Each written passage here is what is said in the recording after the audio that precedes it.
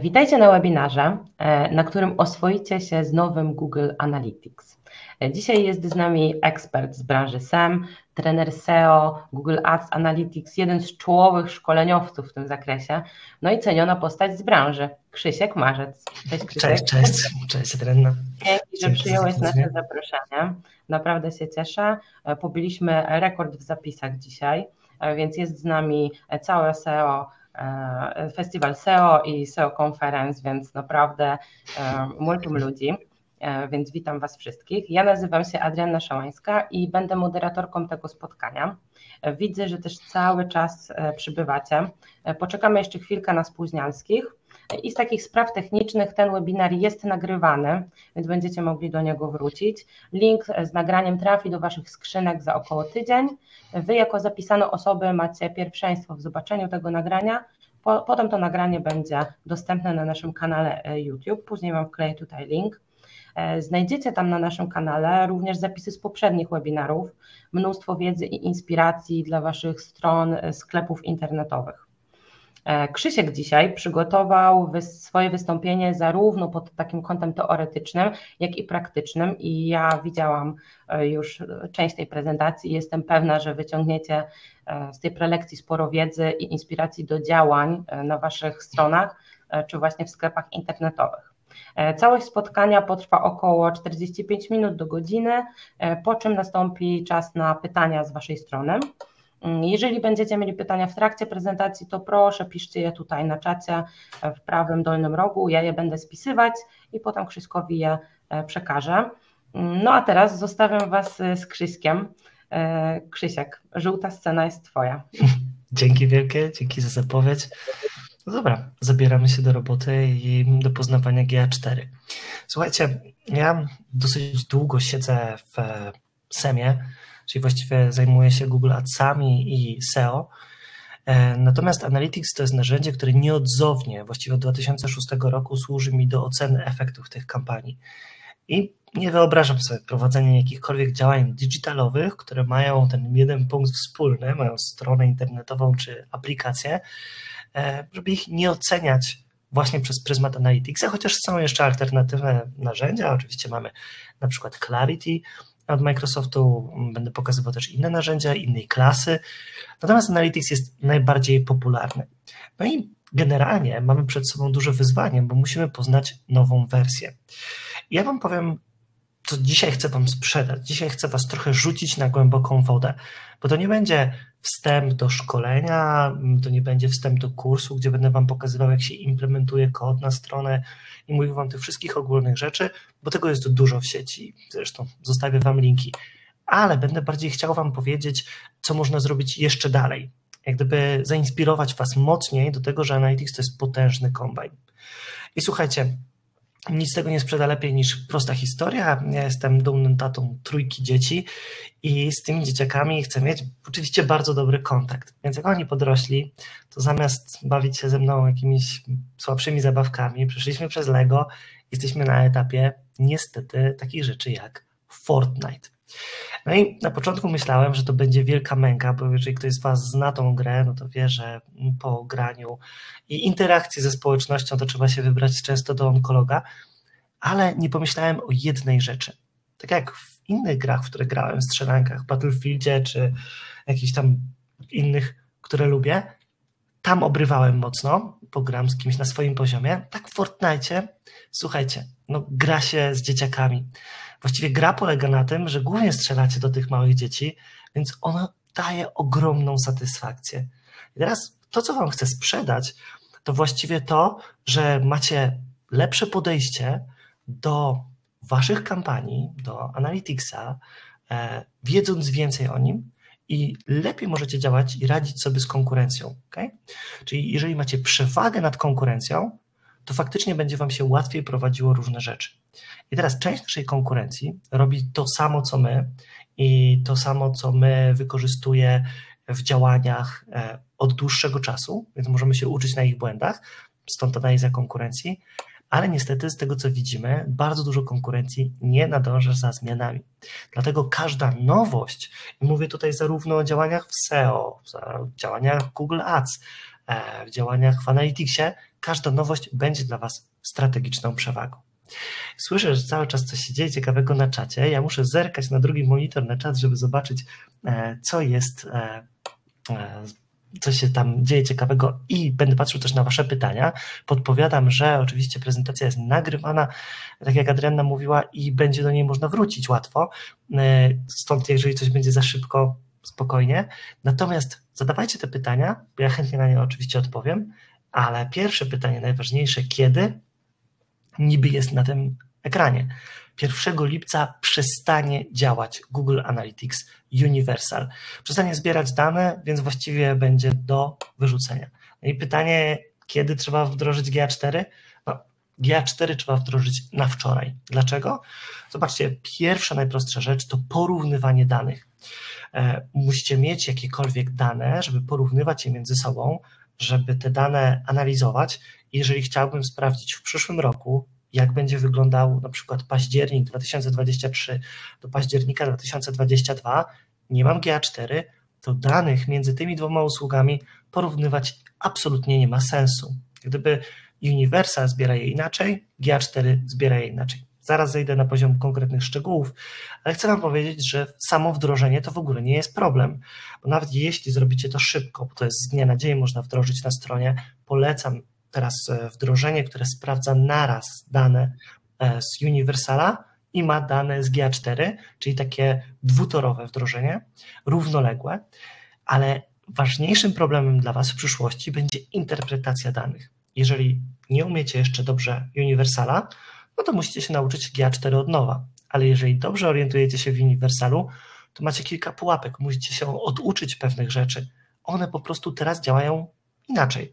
Google postanowił ten wielki, łatany od wielu, wielu lat, 2006 rok, kiedy ja pamiętam jakieś takie pierwsze instalacje tego, wejście bez jakichś dziwnych dostępów typu alfa, beta, tylko już takie publiczne, no to zobaczmy, ile to było lat temu.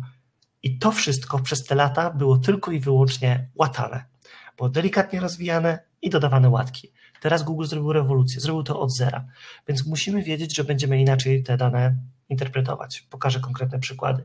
Mamy też pułapki systemu, ponieważ część danych nagle nam zniknie. Taką główną pułapką na nasze dane jest privacy. Privacy jest ogólnie dobre, ale musimy rozumieć, że od tej pory, kiedy użytkownicy będą sami decydowali, czy te ciasteczka będą przetwarzane, czy nie, czy ich dane mają być przetwarzane, czy nie, no to będziemy mieli mniej danych, bo więcej tych użytkowników kliknie nie. Jeżeli na waszych stronach w tym momencie jest taki prosty komunikat na dole, cześć, ta strona ma ciasteczka, jak nie chcesz ich, to sobie je wyłącz, to w interpretacji znacznej większości prawników łamiecie prawo. E, jedynym słusznym rozwiązaniem, tu bardzo uproszczę, jest po prostu danie użytkownikowi jasnej informacji, jakie są te ciasteczka. On musi to proaktywnie zaakceptować. Nie można czegoś za niego zaznaczyć, nie można założyć czegoś za użytkownika, że skoro używa takiej ustawy przeglądarki, to akceptuje, lub pozwolić mu to dostosować. I okazuje się, że część użytkowników, to jest zależne od branży, to czasami jest 20, czasami nawet 30%, w niektórych branżach i więcej, klika, że nie chce tych ciasteczek. GA4 opiera się w zbieraniu w części danych o ciasteczka, ale to, czego nie zbierze z ciasteczek, właśnie sobie dorabia na podstawie nowych funkcji. I to jest jego przewaga nad uniwersalem, w którym po prostu tych danych byście zwyczajnie nie mieli.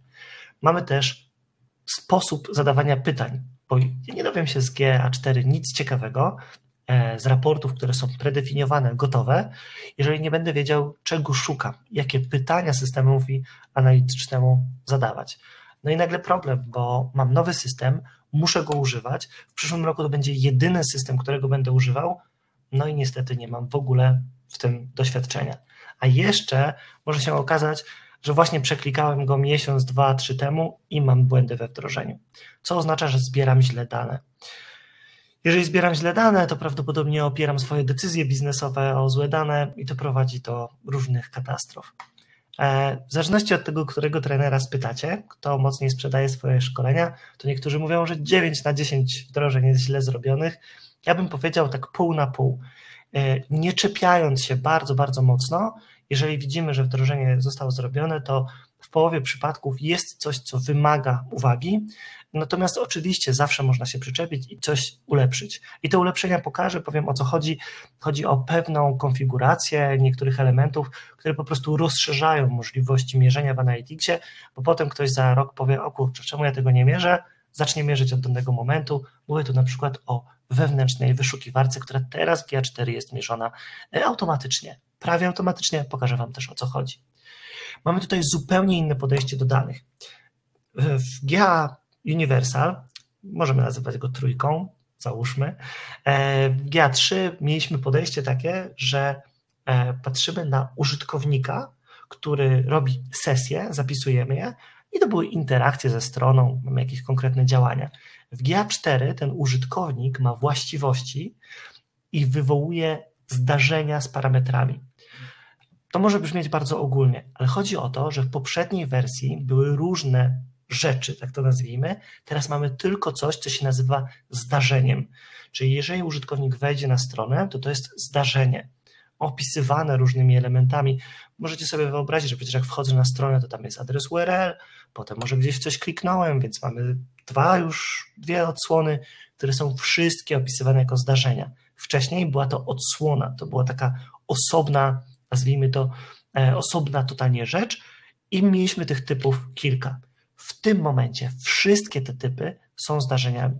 Dlaczego to jest ważne? Bo jeśli budowaliście jakiekolwiek raporty wcześniej, e, no to prawdopodobnie trafialiście do szufladki użytkowników Analyticsa zaawansowanych, no i po prostu musieliście się nauczyć, że jest taki, a nie inny wymiar, takie, a nie inne dane i tak dalej. Ale to byli użytkownicy bardziej zaawansowani.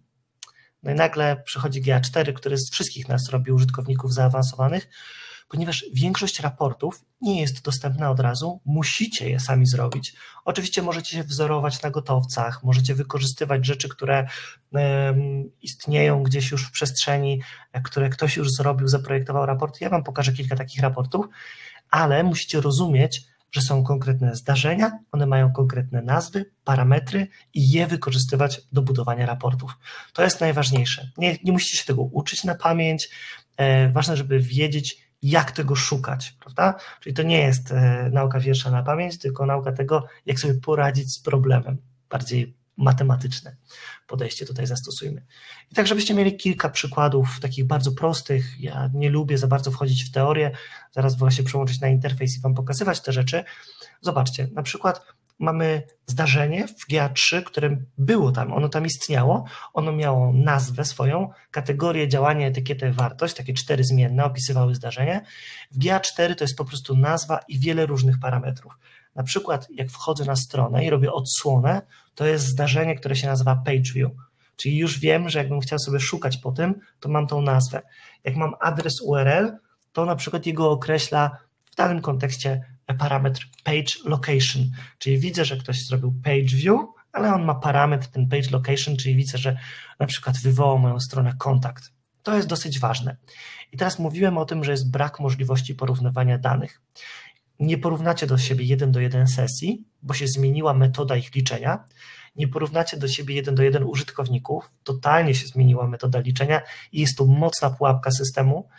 Natomiast z odsłonami jest tak, że jest to taki wyznacznik. Powinno Wam plus minus się zgadzać liczba odsłon.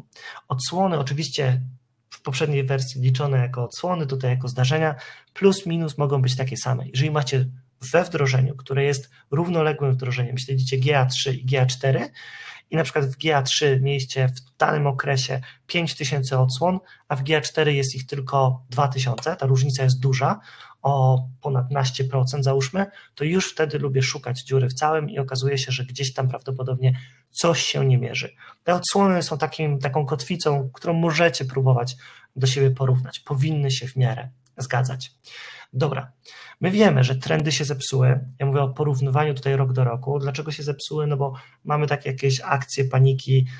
Gdzieś w Australii się skończył papier toaletowy i w Europie ludzie się rzucili nie będę się śmiał i wskazywał palcami, sam też miałem w piwnicy zapasowe jakieś tam 10 rolek. Ja nie szalałem, ale jak byłem w sklepie, widziałem, że wszyscy kupują, no to też dałem na to nabrać. Oczywiście nie na całą piwnicę, jedno opakowanie, więc spokojnie. I te trendy już wiemy, że są uszkodzone. I teraz wyobraźcie sobie, marketer, który chce porównywać dane i się pochwalić, jakie ma wyniki, nie może porównać 2021 do 2020, ba dalej mamy problem z tą oceną. Wyobraźcie sobie, że tych danych nie macie w ogóle. I wtedy zaczynają się schody, bo nie umiecie się odnieść do tego, na przykład, jak podnieść budżet w tym roku, żeby z tą samą kampanią, czy z podobną kampanią odnieść lepszy sukces. Trudno się wyznacza KPI. W Google Trendsach też polecam śledzić inne trendy. Między innymi ten trend jest taki tutaj zastanawiający, nie wiemy kiedy to wybije. E, na szczęście teraz jest na takim totalnie awersja z poziom spadkowy na zero, ale jak się zacznie, to lepiej w biurze wyłączyć radio chyba że ktoś bardzo lubi, nie będę też oceniał. W każdym razie mamy narzędzia, którymi możemy badać trendy i badamy je. Google Trends to podstawowe narzędzie. Jeżeli macie dostęp do planera słów kluczowych, możecie eksportować ogromne listy słów kluczowych, na przykład porównywać do siebie. E, moi klienci działają z tym w ten sposób, że w bazie ogromnych ilości słów kluczowych nagle znajdują, że z miesiąca na miesiąc będzie przeskok. Tutaj sezon na grilla, tutaj sezon na żakiety, tutaj na czarne e, sukienki i tak dalej. Wykorzystują potem całą swoją moc od e-mail marketingu przez stronę główną, przez promocję i tak dalej, do tego, żeby odpowiedzieć na ten wzrost zapytań, e, czy odpowiedź na ten trend, na przykład też budżetami kampanii ads, bo wiedzą, że wtedy stracą udział w wyświetleniach w bardzo na przykład skutecznej i dobrze konwertującej kampanii. I te trendy na znacznie wyższym poziomie są też w Analyticsie. Możecie zobaczyć na przykład, że straciliście ruch na konkretnych stronach produktowych, jak się zajmujecie e-commerce'em, rok do roku, co przełożyło się na zmianę współczynnika konwersji. I współczynnik konwersji niższy może nie wynikać ze złej, źle prowadzonej kampanii, ale na przykład z tego, że uparliście się na inne produkty, które nie wypadają tak dobrze, porównując na przykład miesiąc do miesiąca, albo nagle tracicie mocny udział w jakimś tam e, rynku, spadają wam obroty, Google Analytics Wam konkretnie pokaże, które produkty spadły. Będziecie mogli porównać miesiąc do miesiąca, sprawdzić, co się stało i wyciągnąć wnioski. To nie będzie ogólna liczba, zarobiliśmy 100 tysięcy, a teraz tylko 90 to będą konkrety, to będzie sprawdzenie na poziomie detali, dlaczego ten, e, ta liczba się zmieniła, o jaki produkt. Więc to jest super ważne. I tak jak mówiłem, odsłony możemy tylko porównywać z tego, reszta do kosza. Dlaczego? No bo tu jest cały czas pułapka. Pułapka w zmieniającej się definicji. Zauważcie, że jak sobie odpalicie raport w GA4, te raporty predefiniowane, też spokojnie, jeżeli ktoś tego nie robił jeszcze, zaraz będzie dla osób, które nie mają styczności z GA4 specjalny link, będziecie mogli sobie to sprawdzić. To po najechaniu na kolumnę użytkownicy zobaczycie, że tam jest napisane łączna liczba aktywnych użytkowników. Więc ktoś tutaj zrobił taki straszny dowcip, nazwał kolumnę użytkownicy, ale to nie są użytkownicy, których znacie z GA Universal, tylko to są aktywni użytkownicy. Już Wam się tutaj nie będą jeden do jeden w ogóle zgadzali, nie ma sensu ich porównywać. Dlaczego? No zobaczcie, wrzuciłem sobie taki raport w eksploracji, który pokazuje mi kanały ruchu, czyli wybrałem sobie tutaj parametr, który opisuje skąd się wziął użytkownik, czyli jako wymiar. To też się za chwilę wyjaśni, jak będziemy konstruowali te raporty sami. Nazywa się sesja źródło medium. Źródło to jest skąd pochodzi ruch, medium, jak go dostałem. Czyli na przykład mamy źródło Google, a medium może być organik, czyli wejścia bezpłatne, Wszyscy, którzy płacą faktury za pozycjonowanie, wiedzą, że to jest tylko z nazwy bezpłatne. I Google CPC to są wejścia z Google Adsów. I widzimy tutaj te kanały. A po prawej stronie mam całkowitą liczbę użytkowników i aktywnych użytkowników. Zobaczcie, że się różnią. Czyli musimy poznać definicję, kto to jest ten aktywny użytkownik. No i obiecany link. Słuchajcie, pod tym adresem bitdu konto demo możecie odpalić sobie konto demo GA4 totalnie za darmo. E, jak wejdziecie sobie pod ten adres, to zobaczycie taki mm, artykuł pomocy. Można przeczytać i tutaj się uspokoić, że nic to nie kosztuje, nic na to na koncie nie zepsuje. W każdym momencie można to wyłączyć i uruchamiamy sobie na przykład usługę GA4 e, w Google Merchandise Store, czyli sklepie z gadżetami Google'a. Podglądamy go od drugiej strony. Czyli gdybym sobie znalazł ten sklepik tutaj, to widzimy, że załaduje nam się sklep, w którym możemy wybrać jakiś produkt, kupić sobie koszulkę, czy kubeczek i tak dalej z logo Google czy YouTube'a, a od strony Analyticsa, jak wejdę na stronę główną, podglądam sobie całe to konto i sprawdzam, co tutaj się dzieje.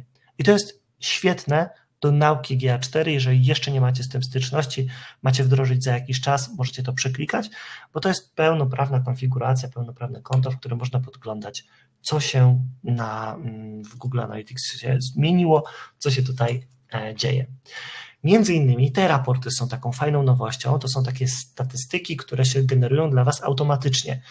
E, ja Was strasznie przepraszam, jeżeli będę mieszał jakieś nazwy. Wyobraźcie sobie, e, mnie to bardzo irytuje jako autora książki na ten temat.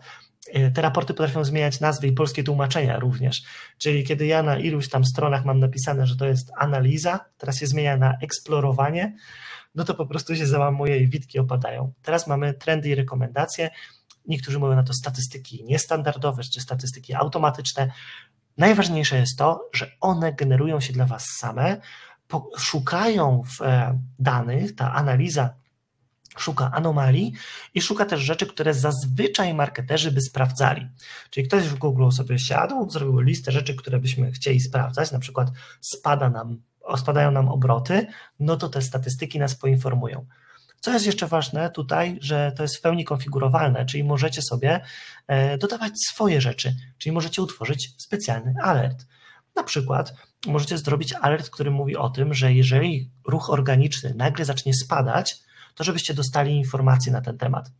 Dlaczego? No bo lepiej, żebyście to wy zauważyli, że macie spadki z pozycjonowania, niż odkryć to w miesięcznym raporcie, prawda? E, możecie zareagować szybciej, możecie na przykład odkryć, że spadek ten z pozycjonowania to nie jest jakiś tam wreszcie Google odkrył nasze black hatowe linki, tylko na przykład ktoś usunął całą kategorię. Mieliśmy takie przypadki.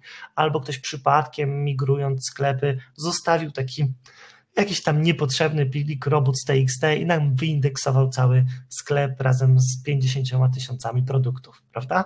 Warto mieć takie alerty ustawione i po prostu nie musicie wtedy poświęcać mnóstwa czasu na siedzenie, przeklikiwanie tego.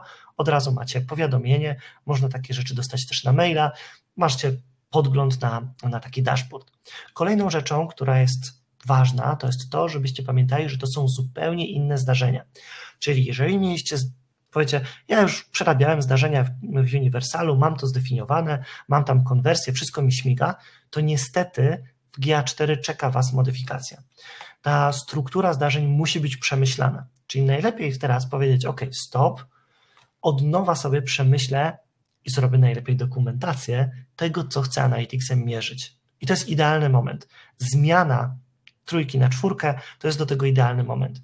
Słuchajcie, Część rzeczy macie mierzone automatycznie. Po prostu ktoś wchodzi na stronę i od razu widzę te rzeczy, czyli page view, user engagement. E, zobaczcie, tutaj jest zrzut z raportu na żywo. Ja Wam go też pokażę, jak on wygląda. E, w, tutaj mamy na przykład użytkowników e, z ostatnich 30 minut w czasie rzeczywistym. Mogę sobie patrzeć, jak oni się zachowują, co się tutaj dzieje i widzę tutaj zdarzenia. To są te zdarzenia, które są mierzone automatycznie, wymieszane ze zdarzeniami, które oczywiście tutaj są zdefiniowane w niestandardowej konfiguracji przez e, kogoś, kto ustawiał to konto. Więc mogą się tu pojawić jakieś nietypowe rzeczy. Ale zobaczcie, mierzymy scrolla już z automatu. W Universalu musieliśmy mieć taką specjalną modyfikację żeby mierzyć scrollowanie. Kosztowało nas to dodatkowy czas, nie zawsze działało idealnie. Tutaj jest wszystko automatycznie. Pokażę Wam, jak to ustawić, żeby nie przegapić tego kroku przy konfiguracji konta. Natomiast jak przyglądniecie się tym, mm, tym zdarzeniom, to znowu, to nie chodzi o to, żeby znowu nauczyć się tego na pamięć, tylko zobaczcie, jest coś takiego jak page referrer. Czyli możecie robić raport, który mówi o tym, że jak ktoś trafił na stronę, to wiecie, jak trafił na stronę. Musicie mieć takie pojęcie techniczne, że niektóre rzeczy da się sprawdzić, że Google Analytics pamięta adres waszej strony, tytuł waszej strony, co nie jest oczywiste, i stronę, z której ktoś przeklikał się na nią. Czyli możecie zrobić ścieżkę do konwersji, możecie sprawdzać lejki. E, naprawdę dużo rzeczy pojawi Wam się w głowie, jak zobaczycie, co Analytics faktycznie o Waszych użytkownikach przechowuje. Więc warto to sobie też przeklikać i sprawdzić na tym koncie demo w wolnym czasie kogo ja szukuję, nikt nie ma wolnego czasu. Dlatego są na przykład takie raporty jak ten. Znajdziecie taką galerię raportów, gotowce, które ktoś kiedyś wymyślił i możecie zaimplementować u siebie. To mnie kosztowało dwa kliknięcia, żeby stworzyć taki raport. Widzę, że ktoś stworzył taki dodatkowy parametr member level i sobie różnicuje transakcje ze względu na to, jaki jest to użytkownik. Oczywiście nie jest to jakieś proste wdrożenie, bo musiałbym, i tu znowu padnie pierwsze słowo, ale ja do tego wrócę, na przykład w Google Tag Managerze dawać specjalne, wywoływać specjalne zdarzenie, jak się użytkownik loguje do mojego sklepu i jak on jest tym złotym klientem, no to niech będzie informacja, że jest złotym, jak jest diamentowy, to diamentowy i tak dalej. I mógłbym mieć taki raport docelowo osiągnąć. Ale jak wy podejrzycie te raporty i pomyślicie, dobra, nie mam tego, nie chcę, a kolejny raport nagle wam pokaże, wow, to jest świetna inspiracja dla mnie, dla mojej firmy, nie macie e-commerce, macie na przykład B2B i chcecie zobaczyć, czy użytkownicy pobierali wasze świetnie przygotowane oferty w PDF-ach i patrzycie, że da się to zmierzyć, bardzo prosto, i nagle to definiujecie jako konwersję. Tego jest naprawdę dużo i musicie zapamiętać, że konwersje w GA4 definiowane są tylko i wyłącznie na podstawie zdarzeń bo mamy tylko zdarzenia. Czyli nie ma już tego takiego panelu, w którym mieliśmy cztery typy konwersji, gdzie ustawialiśmy jakiś czas, e, wejście na jakąś podstronę i tak dalej. Niestety to wszystko przestanie działać, to jest do kosza, więc wymyślamy od nowa, co i jak mierzymy. I jak ktoś wejdzie na zakładkę kontakt, no to mamy tam odpowiednie zdarzenie z odpowiednim parametrem, musimy je zmierzyć. Czyli wchodzimy w panel, mamy konkretne zdarzenia i możemy tutaj po prawej stronie oznaczyć je jako konwersję. I teraz super krótkie wyjaśnienie. Jeżeli ktoś nie wie, o czym mówię, mówiąc słowo konwersję, to to jest najważniejsze pod kątem biznesowym zdarzenie, które się dzieje na naszej stronie. Jest ich mnóstwo, które możemy mierzyć. Powinniście wybrać te, które są zasadne. Nie mierzmy śmieci, bo właściwie wtedy nadmiar danych powoduje, że gubimy się w tych danych. Trzeba to dobrze przemyśleć. Polecam wrócić do słowa dokumentacja, czyli zanotować sobie, jakie to są konwersje, co one oznaczają i ile ich się miesięcznie spodziewamy. Bo potem ktoś mówi, no te konwersje nie działają. Ja mówię, jak to nie działają? One powinny działać, to znaczy my ich nie mamy i teraz nie wiemy, czy się zepsuła mierzenie, i nie mieliśmy alertu, więc nawet nie wiemy, kiedy się zepsuło, czy na przykład przestał przychodzić do nas formularz kontaktowy. Wyobraźcie sobie, że mieliśmy sytuacje, w których bardzo duży klient nie odkrył przez wiele miesięcy, a my po prostu w audycie, kiedy się daliśmy do uruchomienia kampanii, powiedzieliśmy, musicie poprawić kod konwersji, bo on nie działa. A oni mówią, tak, odkryliśmy, że to nie kod konwersji nie działa, tylko nasz formularz kontaktowy nie działa w kampanii, która wydawała mnóstwo pieniędzy. Nikt tego nie zauważył. Dlaczego? No bo nie przeklikujemy swojej strony, swoich formularzy regularnie, dlatego trzeba mieć alert. Jeżeli spodziewałem się, że tych formularzy będzie 3, 5, 50 miesięcznie, spadnie ta liczba, nagle będzie 0, to ten alert da mi do myślenia. Wyślę sobie taki formularz, napiszę test, test i sprawdzam. Tutaj zobaczcie, że to są pomysły, które możecie wykorzystać u siebie. Wszystko to da się łatwo oskryptować i zmierzyć Analyticsem. Ale część z Was prowadzi biznesy, których proces decyzyjny jest długi. Czyli na przykład użytkownik musi wejść kilka razy na waszą stronę, albo wejdzie kilka razy, zanim podejmie decyzję, albo jesteście w branży B2B. I tam nie mamy tak dużo konwersji, żeby wyciągać wnioski, że to słowo kluczowe jest lepsze, że te działania w content marketingowy wypadły lepiej, albo ta reklama na Facebooku e, dała czadu, a tamta nie. I jak brakuje nam konwersji tych danych, to na biało wchodzą całe mikrokonwersje, czyli takie sygnały, które mówią, że coś jest już na rzeczy, ale niekoniecznie są ważne biznesowo. Czyli na przykład ktoś może pobierać wasze cenniki i to jest lepsze dla was, niż jak ktoś wejdzie na stronę i nic nie zrobi, nie pobierze cennika, nie wyśle formularza. Bo jeżeli ja mam restaurację, to mógłbym mierzyć na stronie restauracji, że ktoś zarezerwował stolik, zadzwonił do mnie, ale jeżeli ta osoba pobierze menu, to też jest pewne już sygnał dla mnie, że kampania trafiła na dobry grunt. Bo jeżeli zrobię dwie kampanie, na przykład na jakieś persony, e, na Facebooku czy w Google Adsach i z jednej kampanii 7 na 10 osób klika i ogląda menu, a z drugiej kampanii 2 na 10 osób klikają i oglądają menu, to jest to dla mnie wyraźny sygnał, że tutaj trafiam na użytkowników zainteresowanych, a tutaj nie. Na stronie CyberForce, gdybym mierzył normalne wdrożenie konwersji, to wyobraźcie sobie, że przypisywałbym, robię reklamę, załóżmy na najlepszy hosting, użytkownicy wchodzą na stronę, przeklikują się i kontaktują się ze mną. Mogę mierzyć konwersję, która jest kliknięciem w tego maila. Y, on, żeby przekierować ruch na y, formularz, podejrzewam, dlatego jest nieklikalny. Mogę też mierzyć konwersję, klikalność, czy tak naprawdę tapnięcia, dotknięcia tego numeru na urządzeniach mobilnych, czyli mogę sprawdzać, ile osób się skontaktowało, albo na przykład założyło konto prawda? Zalogowali się, czy kupili, gdzieś kliknęli w cennik. Jest tego dużo. Ale gdybym mierzył je tak zero-jedynkowo, że jest ten kontakt lub go nie ma, to zobaczcie, ile mi umknie. Jeżeli zrobię specjalne zaawansowane wdrożenie i założę, że ktoś już jest klientem CyberFolks albo nie jest klientem, to mogę na koniec dnia powiedzieć, że prowadziłem kampanię i miałem 100 kontaktów z niej, ale 80 z nich to są osoby, które zaznaczyły, że nie są klientem, czyli kampania jest akwizycyjna.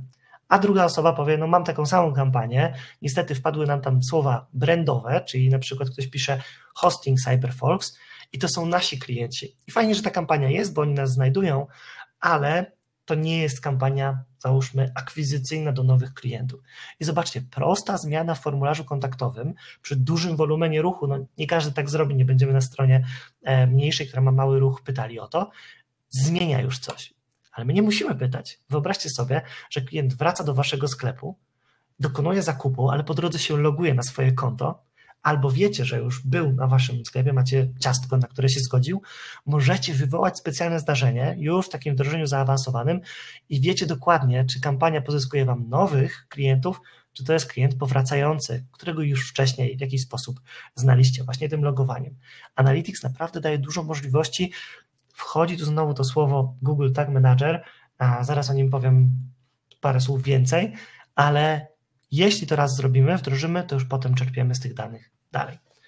Jak się analizuje kampanię? No na przykład tak. To nie jest ani ciekawe, ani sexy. Te raporty są czasami tragiczne, szczególnie jak ktoś nazywa te kampanie tak jak nazwali w Google. Ja specjalnie pokazuję przykłady z tego konta, żeby później przeklikując przez to konto, żebyście się dobrze w nich orientowali.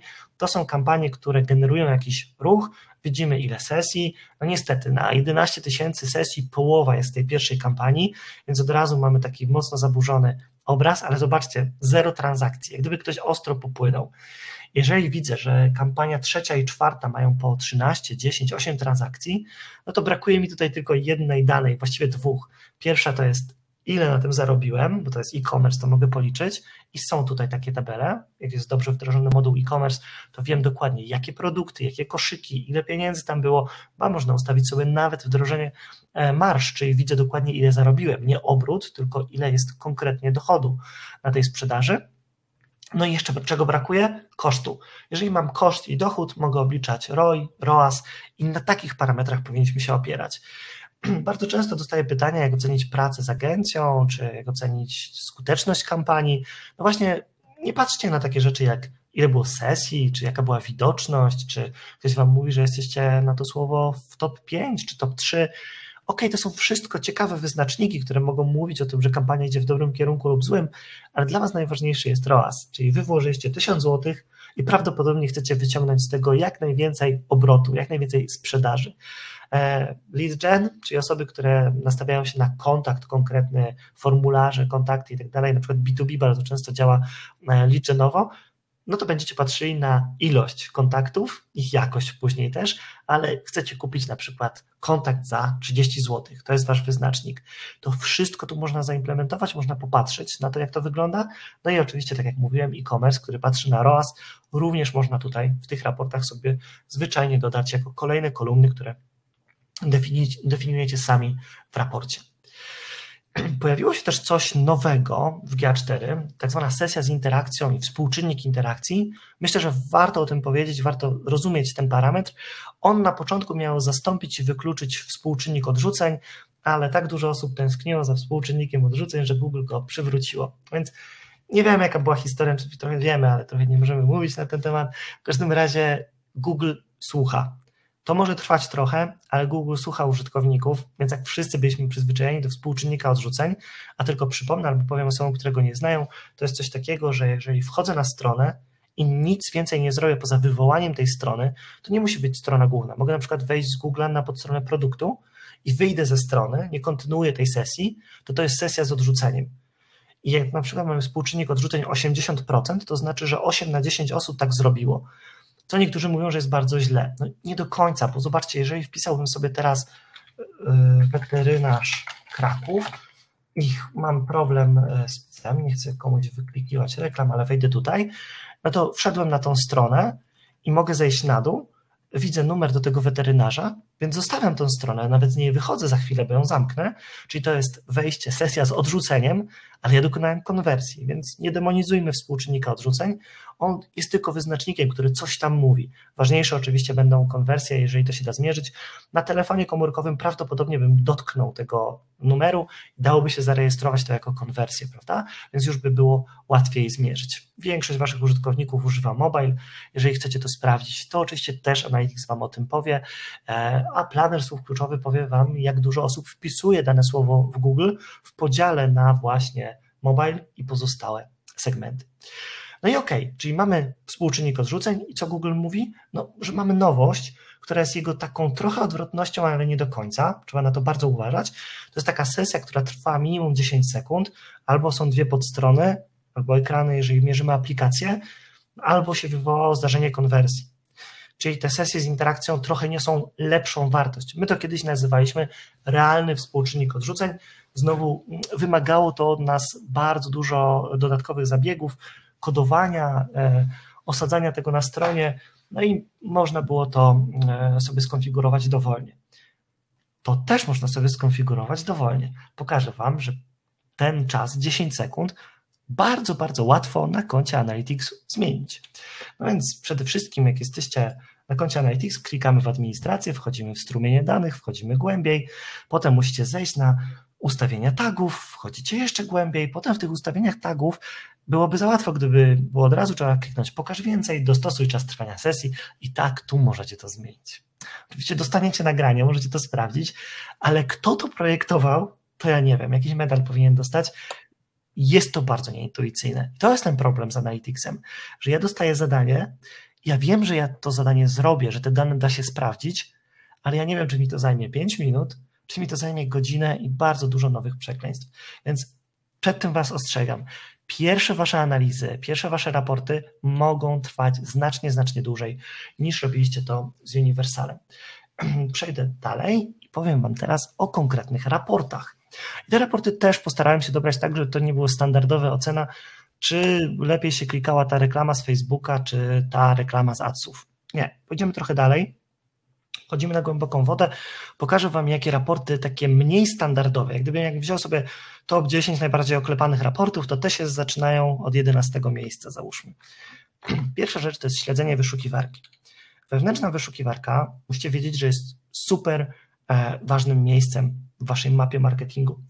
E, o czym ja w ogóle mówię? Mówię o tym, że jak wejdziemy sobie na Empik i wpiszemy sobie cokolwiek tutaj, to jest to super ważna informacja dla Empiku, że nie masz wyników, to dlaczego? Bo może na przykład ktoś napisał literówkę, system nie reaguje na to i użytkownik co zrobi? Wróci do wyszukiwarki, która radzi sobie z literówkami. Google. Czy trafi z powrotem do Empiku? Nie wiadomo, możemy stracić klienta. Dwa, szukacie nowych słów kluczowych na pozycjonowanie do kampanii Google Ads to jest jedno z lepszych źródeł słów kluczowych, bo możemy znajdować to, czego użytkownicy już w kontekście mojej marki, mojego sklepu, mojej strony, B2C, B2B, nieważne, szukają. Potem odkrywacie kolejne rzeczy, czyli ktoś tu wpisuje rzeczy oczywiste. Jak to? Dlaczego on tego szuka wyszukiwarką? Przecież to jest gdzieś w menu. Jeżeli tego jest dużo i tak się użytkownicy zachowują, to jest dla Was wyraźny sygnał, że w menu i dostępne to było tylko w Waszej głowie. Jak gdyby użyteczność strony trochę zawiodła. Czyli użytkownicy muszą korzystać z wyszukiwarki, wam się wydawało tylko, że to jest dobrze dostępne, no bo wy tą stronę znacie na wylot, projektowaliście ją i tak dalej. Więc ta wyszukiwarka jest super ważna. I teraz co się dzieje w e, Analyticsie? Jak zakładacie nowe konto, ja to zrobię bardzo szybko, Wtworzę sobie nowe konto, nazwę sobie tutaj test CyberFox, Zaznaczam te rzeczy, to jest do przeczytania, to jest totalnie nieważne, klikam sobie dalej, tych kont na jednym koncie można mieć bardzo dużo, jak tu widzieliście, e, limity są ogromne, wybieram sobie nazwę usługi test. Dlaczego zmieniam strefę czasową? No, żeby po prostu mieć e, od razu w raportach wszystko poprawnie, też będę pewnie implementował wartości konwersji w złotówkach. O właśnie, ten skrót będzie tu działał. Mam też coś takiego jak opcje zaawansowane rozwijam te opcje zaawansowane i zobaczcie, co można tu zrobić. Tutaj mogę dodatkowo utworzyć usługę Universal Analytics, czyli jeżeli ktoś jeszcze bardzo, bardzo chce zakładać nowe konto i śledzić to równolegle, to ten może odpalić sobie i GA4 i starszą wersję Universal Analytics. My tego robić nie będziemy i będziemy szli dalej. Mamy ankietę do pominięcia, klikamy utwórz, akceptujemy, że oddajemy całą rodzinę e, w zastaw Google i idziemy sobie dalej. Wybieramy skąd zbieramy dane. Sieć. Mówiłem, że nie będę o tym dużo mówił, dlatego to jest taka przyspieszona wersja przyspieszonej wersji. I wreszcie jestem tu, gdzie chciałem być, czyli pomiar zaawansowany. Zobaczcie, wszystko, o czym mówiłem wcześniej, te zdarzenia automatycznie zbierane są tutaj. Google automatycznie mierzy kliknięcia w linki wychodzące na waszej stronie, interakcje z formularzem, przewinięcia, interakcje z odpowiednio osadzonym filmem, pobrania plików, czyli te PDFy, które macie osadzone na stronie, też zmierzy. I jest też wyszukiwanie w witrynie. I teraz uwaga. Jeżeli wejdziecie tutaj w pomiar zaawansowany, warto wejść jeszcze tu, pokaż ustawienia i zobaczyć, jakie macie tu słowa i jakie słowo macie na waszej stronie. Już tłumaczę o co chodzi. Ten automat nie może być pełnym automatem, dlatego że każda strona się różni. W Empiku, jak napiszemy sobie tekstowa fraza i klikniemy Enter, to zobaczycie, że mamy wyniki, jest ich 0, ale adres tej strony będzie wyglądał tak: empik.com, szukaj produkt Q równa się testowa fraza. Programista, który to projektował, użył słowa Q, zmiennej Q, od słowa query. E, I czy to Q mamy na liście? No, jest na pierwszym miejscu, jest super typowe. Czyli gdybym ten pomiar zaawansowany zostawił tak, jak jest dla Empiku, wyszukiwarka się mierzy automatycznie, wszystko się zbiera. Ale gdybym był Allegro, to zobaczcie, Allegro ma trochę inaczej to zapisane. Jest string równa się testowa fraza, tak tutaj wpisałem, czyli dla Allegro ten pomiar automatyczny by nie zadziałał. Co musiałby ktoś zrobić z Allegro? No, wejść tutaj i wystarczyłoby dopisać string. Tyle. I już działa. Okay? Przy wdrożeniu sprawdźcie, czy macie tutaj coś nietypowego. Część skryptów, których się używa, na przykład ktoś po polsku zakodował szukaj albo szy, wystarczy tutaj to dopisać, koniec, działa. Więc jest idealnie, bardzo, bardzo proste. Niestety straciliśmy raport, który był bardzo, bardzo dobrym raportem wcześniej. No, ten raport e, trzeba sobie zrobić samemu. I większość raportów robimy samemu. Wchodzimy w eksplorowanie, klikam nowy pusty raport, też możecie to przejść później na spokojnie w wymiarach wyszukam coś takiego jak search term, czyli słowo, które jest wyszukiwane, a do danych dodam sobie coś, po czym chciałbym obserwować, co tam się dzieje, czyli w tym momencie na przykład sesję. Przesuwam wymiary na wiersze, bo teraz buduję tabelkę, bo tak sobie wybrałem taką wolną eksplorację i zobaczcie, od razu widzę, że szukali użytkownicy plecaka, torby i tak dalej. Dodam jeszcze taki segment, E, w którym będę mówił o tym, że użytkownicy szukali czegoś. Czyli sobie wrzucę, że był ktoś na stronie View Search Results, czy był na tej stronie, czy uruchomił ją i wyeliminowałem ten parametr not set. Mam teraz jeszcze jeden pomysł, dodaję tego page referer, o którym wcześniej mówiłem i dzięki temu w tym raporcie jak go to jeszcze przeciągnę na te wiersze, będę wiedział, że z tej strony ktoś był na stronie i tam przeglądał jakąś rzecz albo stronę główną, ktoś wpisał ten backpack co mogę zrobić dla użytkowników? No upewnić się, że mam do tego wyniki, że te wszystkie moje plecaki się wyszukują, no i upewnić się, że na pewno mam taką kategorię wyeksponowaną, bo jest to najpopularniejsze słowo w wyszukiwarce u mnie na stronie. Świetny raport, e, można dużo wniosków z niego wyciągnąć, podobnie jak z tego, czyli śledzenia błędów na stronie. Słuchajcie, na waszych stronach działa coś takiego jak strona 404, błędu 404, to znaczy nie znaleziono. Ona pojawia się z różnych powodów. Ja stworzyłem tutaj raport. Zobaczcie, że znowu wszedłem w zakładkę eksploracja. Wybrałem wymiary takie jak sesja, tytuł strony, strona odsyłająca docelowa, nazwa hosta. E, dodałem sobie tutaj dane, sesja z zaangażowaniem i po prostu sesję i poprzeciągałem je. I zobaczcie, że stworzyłem sobie taki raport, który pokazuje mi, że dla mojego tytułu strony, bo dodałem tu specjalny filtr, do tytułu strony, strona nie została znaleziona, bo tak się nazywa ta strona błędu u mnie. E, zaraz to też pokażę na przykładzie. Wiem, gdzie się to pojawiło, czyli wiem, które strony nie zadziałały. Niektóre są losowe, nie będę ich naprawiał, a niektóre mają jakieś błędy. Mogę to zaadresować, mogę ustawić alert i coś z tym zrobić. Tutaj możecie pobrać cały ten raport i z nim pracować poza Analyticsem. Zobaczcie, jak to wyglądało u mnie. Jak odpalam stronę błędu 404, mam nadzieję, że to nie buchnie Wam w głośnikach teraz, zaraz powiem o co chodzi, to tytuł tej strony brzmi strona nie została odnaleziona. Ja na niej mam osadzonego Analyticsa, dałem taki filtr wcześniej, że ten tytuł strony zawiera strona nie została odnaleziona, gotowe. To jest strona też oryginalności. Chcecie założyć agencję, być oryginalnym, nazywacie ją, a potem się okazuje, że w Indiach jest boys band o tej samej nazwie i nieważne jak się będziemy starali, nigdy nie będziemy tacy cool jak oni. Jak kiedyś traficie na stronę błędu 404 u nas, mam nadzieję, że to nie buchnęło wam tak jak mi, to zobaczycie, że oni są bardzo cool.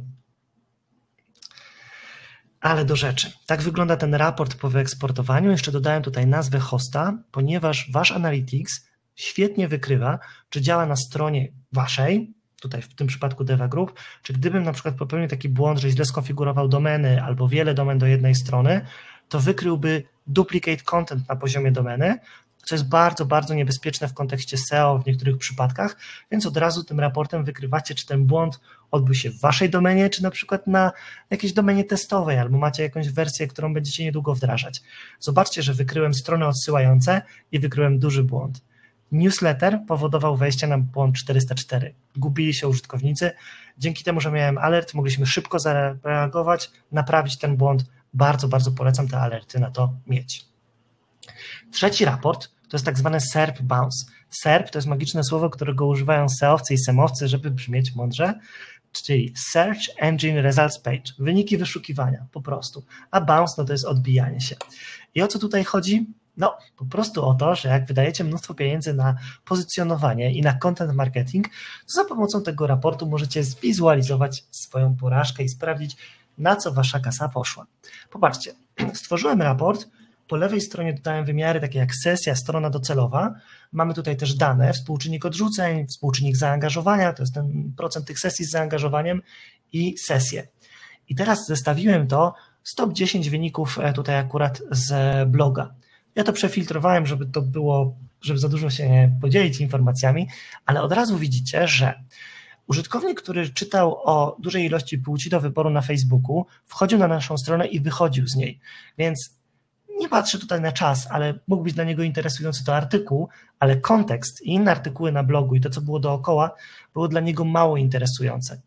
A użytkownik, który czytał o data layer albo na przykład o hashtagach na Instagramie, dostawał dookoła taką treść, która sprawiała, że ta strona była lepka. Może na przykład dostał kolejne informacje o tym Instagramie, albo kolejne ciekawe newsy, albo nawet udało się komuś coś z tego sprzedać, z tych bardzo ogólnych artykułów. Więc możecie to robić, możecie powiedzieć w każdym momencie sprawdzam. Wiem, że bardzo dużo osób tego nie robi. Nawet na konkursie, w którym oceniam pracę, European Search Awards czy Global Search Awards, przyglądamy się bardzo mocno case study z zakresu content marketingu. Firmy chwalą się współczynnikami takimi jak widoczność na słowa kluczowe, sesje wygenerowane z tego kontentu, ale kiedy nie podają wyników, wiemy, że coś jest na rzeczy. Najważniejsze z tych działań jest to, czy to prowadzi do konkretnych zakupów, konwersji. Ten raport pokaże Wam wstęp. Oczywiście wszystkie raporty, o których mówię, da się jeszcze bardziej rozbudować, bo tutaj brakuje na przykład tych konwersji, ich wartości i tak dalej. Możecie powiedzieć sprawdzam. Ba, jeżeli macie różnych autorów na blogu, możecie zobaczyć, czyje teksty są bardziej angażujące, kto pisze na bardziej takie tematykę, która lepiej trafia do użytkowników. Pamiętajcie też, że w Waszym ruchu w Google Organic jest ruch brandowy. Niektórzy na to mówią direct SEO. Chodzi o to, że jeżeli jesteście tym Empikiem, to wejście na słowo empik.com, empik.pl, na słowo książki Empik, to jest wasza marka cały czas. Te wejścia są bardzo często powrotami, to są użytkownicy, którzy Was dobrze znają i oni będą mocno zawyżać wyniki. Pamiętajcie, że jak patrzymy tutaj, nie jesteśmy w stanie łatwo wyfiltrować tego, bo w Analyticsie nie da się analizować konkretnych słów kluczowych. Musimy trochę się ratować, na przykład takim narzędziem Google Search Console, koniecznie sobie to odpalcie, jak gdyby to jest obowiązkowe narzędzie. Nieważne, czy marketingiem zajmujecie się w firmie hobbystycznie, czy jesteście właścicielem biznesu, czy jesteście specem od SEO-SEM, ktoś w waszej organizacji powinien być tu podpięty i dostawać powiadomienia. Jak z waszą stroną coś pójdzie nie tak, to dostaniecie powiadomienie.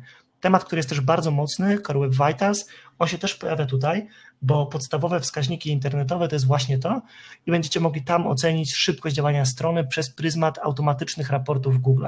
To jest niesamowicie ważny raport, ja akurat tu z mojej strony testowej pokazuję widoczność, czyli na jakie słowa kluczowe jestem wysoko, ile mam kliknięć, wyświetleń, średni CTR i pozycje. Z tego też można wyciągnąć dużo wniosków do kampanii, na przykład jestem na dalekich pozycjach w SEO, dopalam te słowa w adsach albo jestem na pozycji siódmej, no to co muszę zrobić, żeby być wyżej? Jak gdyby łatwiej takie słowa podbijać w górę, niż zdobywać kompletnie nowe, albo takie, które mam już dobrze opisane na stronie, a dalej jestem na pozycji tam 70, albo w ogóle mnie nie ma, mimo tego, że mam treść. Więc to narzędzie jest super świetne i tu też możecie oceniać, jaki procent waszej, waszego ruchu SEO to jest właśnie marka.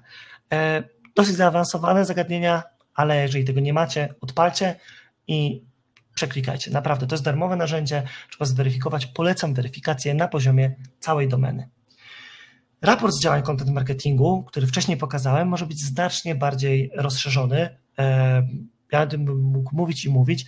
Weźcie pod uwagę, jeszcze cofnę na niego, że niekoniecznie to będzie tak, że użytkownik ma wejść na mojego bloga, przeczytać ten artykuł, który ktoś napisał i dokonać zakupu. W B2B i w B2C, w których patrzymy bardziej na lead gen, czyli generowanie kontaktów, bardzo często sprawdza się kampania content marketingowa w ten sposób, że użytkownik wchodzi na stronę, przeklikuje ją, bierze udział w interakcji z naszą treścią i kiedyś dokonuje konwersji. Więc nie patrzcie tylko na ten raport, który mówi, że ktoś wszedł i kupił, tylko czy użytkownicy, którzy konwertują, na jakimś etapie wchodzą w interakcję z moim contentem. I tu się okaże, że to jest dodatkowa wartość dla Waszych działań content marketingowych, bo to, że one nie działają, to ja się śmieję. One bardzo mocno działają. To jest najlepsze, co można teraz robić, tworzyć nowy content, który sprzedaje. Ja się śmieję czasami, że dobór słów kluczowych jest absurdalny i na przykład ktoś próbuje sprzedawać ekskluzywne garnitury po naście tysięcy złotych, pozycjonując stronę klienta e, na słowo kluczowe, na przykład jak się ubrać na studniówkę albo bo ona nie pasuje do tego targetu, albo na przykład jak zawiązać krawat. No jak zawiązać krawat, to ja chcę dowiedzieć się tu i teraz z YouTube'a i nie kupię garnituru, chociaż mogę pomyśleć i uwaga, ktoś powie, może się zaszczepić marka w głowie. To też jest takie działanie, ale to będzie jeszcze trudniej zmierzyć, nawet powiedziałbym, że nie Analyticsem, tylko już innymi narzędziami. I musicie o tym pamiętać, jeżeli jesteście nastawieni na efekt tu i teraz, to ten pierwszy raport. Jak budujecie markę, to dodajecie te kolejne wartości i możecie na te ogólniejsze słowa kluczowe również zadziałać. Dobra. Budowanie grup docelowych to jeden z najważniejszych trendów w marketingu w ostatnich latach, bo persony, które kiedyś sobie jako ćwiczenia na studiach wypisywaliśmy, nagle stają się rzeczywistością, czyli mogę kierować reklamy do określonych grup odbiorców. Sprawdźcie ten adres settings.google.com, dowiecie się tam ciekawych rzeczy o sobie, co Google o was wie, wiek, płeć i tak dalej, to jest jasne, ale wasze zainteresowania, bary, kluby, życie nocne, no nie bardzo, nie bardzo u mnie, dramaty to chyba życiowe, e, to są rzeczy, które Google o was wie. Pomyślcie jak marketerzy, jak to wykorzystać. Jeżeli ktoś wpisuje w Google komputer, a wy chcecie mu sprzedać laptopa gamingowego, no to niech będzie miał zainteresowania gry komputerowe. Łatwiej do niego traficie z waszymi komunikatami, że to jest tam dysk tysiąc i inne dziwne hasła. W każdym razie ta osoba, jak będzie miała wypukloną dobrą kartę graficzną w tym zestawie, będzie na to inaczej reagowała niż osoba, która się nie interesuje w ogóle grami. Być może ta osoba zareaguje lepiej na komunikat, to jest doskonały komputer do pracy, albo na przykład do nauki zdalnej twojego dziecka, mam nadzieję, że to nigdy nie wróci, ale rozumiecie o co chodzi. I tak możemy personalizować reklamę zarówno na Facebooku oczywiście, ale też w Google, w displayową reklamę, która idzie na GDN, Google Display Network, czyli na strony internetowe, aplikacje i tak dalej, ale uwaga, na słowa kluczowe również. E, zainteresowania sterują słowami kluczowymi, czyli mogę się reklamować na biżuteria do osób, które się tym interesują i są super bogate. Jak to odkryć? No, na przykład latają w podróże zagraniczne, są takie zainteresowania. Uwaga na drugą rzecz. Google obiecywał, że nie będzie kontrowersyjnych kategorii. Mam nadzieję, że nikt za to nie oberwie. Jak sprawdzicie inne, e, nie sprawdzajcie innym ludziom tych ustawień. Są bardzo prywatne rzeczy. Nagle odkryjecie, że ktoś ma randki, ale przynajmniej odchudzanie, ktoś o siebie dba. Są takie e, rzeczy na YouTubie, czyli po tym też można kierować. To są dodatkowe e, funkcje YouTube'owe są generalnie rozbudowane w Google Adsach. Zobaczycie, że jest więcej kategorii, po których można kierować.